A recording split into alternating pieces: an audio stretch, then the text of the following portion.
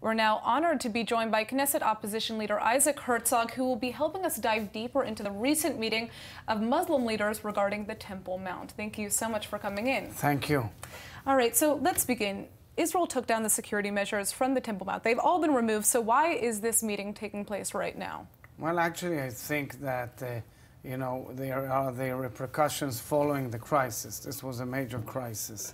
Temple Mount has always been a source of tension in the region. You know, it's, it's been almost 100 years where there were riots erupting, bloodshed pouring because of Temple Mount. I think that following the crisis, there's always the politics of it, mm-hmm. the religious politics of it. And I urge all the leaders in the region to be careful, to understand that anything to do with Temple Mount is very explosive.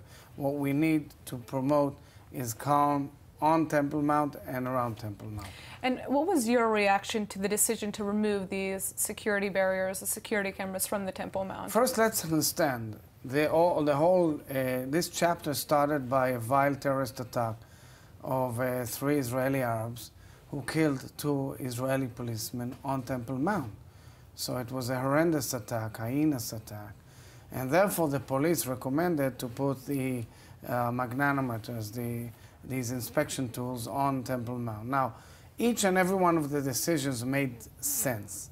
Makes sense logically as part of security measures. You've got them all over the world in the most sensitive would you, of would places. You have recommended however, this? however, I think, and without now delving into uh, in hindsight, I said in the in the Knesset plenary that uh, the tools themselves are not the cause and are not the objectives. What We need to get to is full, in-depth, intimate, strategic cooperation with Jordan.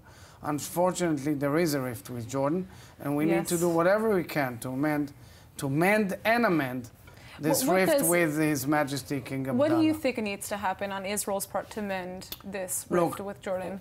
For the last few years, and definitely for the last year, and definitely following the, the agreement of the G6 with Iran, uh, there was something that was clear that there's a new alternative coalition in the region. Mm -hmm. These are moderate Arab Sunni states who identify Iran as a threat and ISIL as a threat and therefore are willing to cooperate with Israel. In fact, if Israel would have pursued a major offensive on peace with the Palestinians, it would have been gone even further out, of the, out in the open.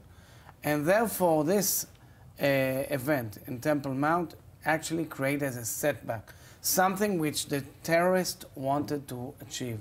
And in order to show terrorism that it doesn't win, we need to reignite this coalition with the moderate Arab states and immediately. And we could do that. And there are a lot of issues at stake, and there is a common denominator of working together in a convergence of interests to get this coalition moving again. Now, I'd like to talk a little bit about, you know, kind of the impact that this crisis has had on the Palestinian Authority and Hamas. We're now hearing reports uh, that Hamas and the PA are attempting to reconcile. Is this the case? And if this is what is happening, what does that mean for Israel? Look, Palestinian politics is as complex as Israeli politics. And therefore, all these reports do not necessarily reflect the true reality. I, for one, don't mind that there will be Palestinian rapport between all the, the, different, the different political parties in order to come to the peace table to unite it. But I don't believe it's feasible. Secondly, Hamas promotes terror. Hamas celebrated the death of innocent people. Hamas is an enemy. But what I can say is that uh, what I hear are reports of, of a different kind, whereby there are discussions between the Egyptians and Hamas on new arrangements regarding the Rafah crossing. I mm -hmm. think that may be a very welcome change. Anything that can ease up the pressure on Gaza on the one hand, whilst making sure that there is no smuggling of arms and weapons or no rogue activity around those passages uh, that can be achieved is welcomed by me. What should Israel's reaction be, though, to, I mean, if there were to be a reconciliation, if this is what were to happen, what should Israel be doing? Well, first of all, Israel has to make sure that uh, any uh, steps of reconciliation of this nature is not at the expense of Israel. namely, that it makes made clear that there is no justification under any circumstances to terror. That's why I don't necessarily believe that the Palestinian security apparatus will be willing uh, to have rapport with Hamas so long as it promotes terror.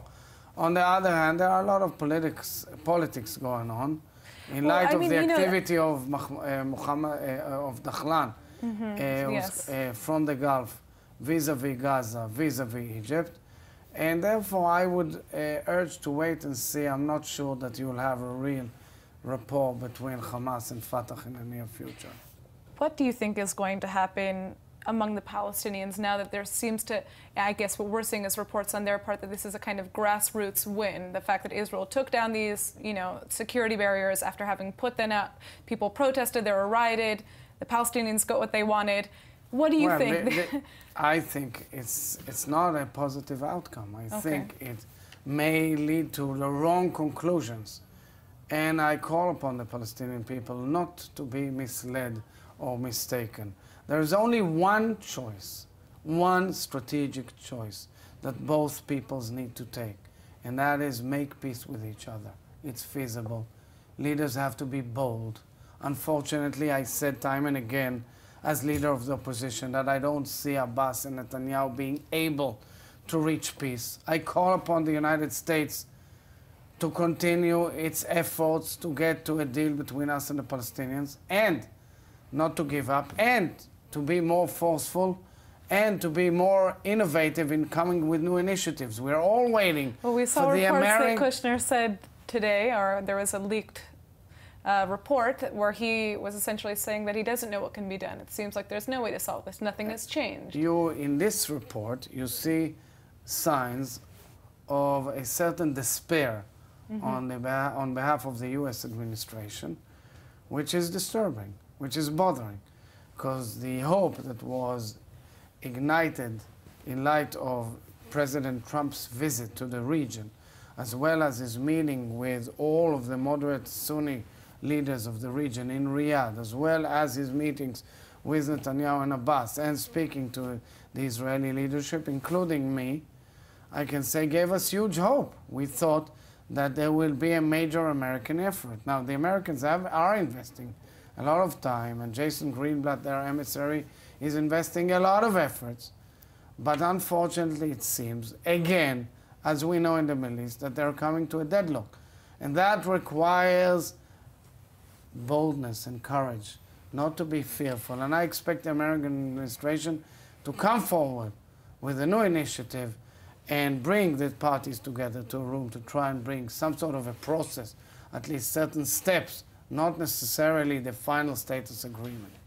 All right. Well, thank you so much for joining us, Opposition Leader Isaac Herzog. Thank you.